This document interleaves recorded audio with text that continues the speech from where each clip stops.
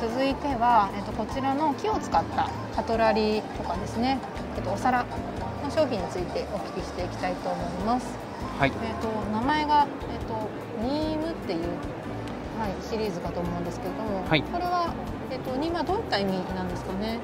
ニームが、えっと、木の名前になりまして、えっと、インドにあの自生している木になるんですけれども、まあ、その地方で、まあ、多く生息するためその生産者の人たち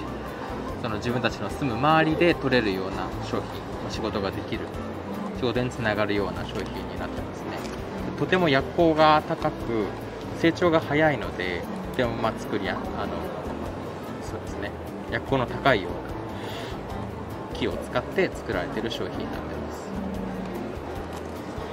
す。インドの、あのーサシャっていう団体 NGO 団体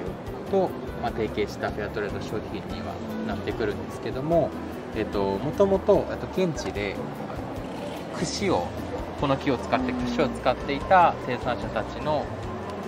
に作ってもらってるんですがだんだんこう串の需要が減ってきたところうん。何か他にできることはないかというところ、まあ、こういった、あまあ、カカトラリーとかお皿とかをで、まあ、雇用を増やしてあげてるようなプロジェクトになりますかね。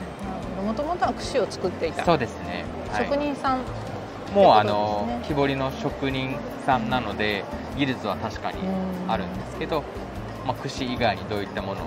まあ、作ろうかっていうところで、まあ、こういったカトラリーとかをこちらから提案して作ってもらってるっていう形ですね。こちらのニームのシリーズなんですけども、コーヒーメジャーとかもサムコーヒーもあったりするので一緒に人気で売れてそうですアイテムですかね。ねはい、はいあのーまあ、1杯で大体えー、とコーヒー1杯分くらいでコーヒー豆作っていただいて使えるようなアイテムになってましてもう本当に人気で入荷してすぐになくなってしまうくらいの人気商品になってますね。持ち手がなんなんか気持ちがそうですね。持ちやすいです。はい。はい。手作りフォルムも可愛いですしまん丸なのも珍しいかなと思いますね。そうですね。あのすくうところが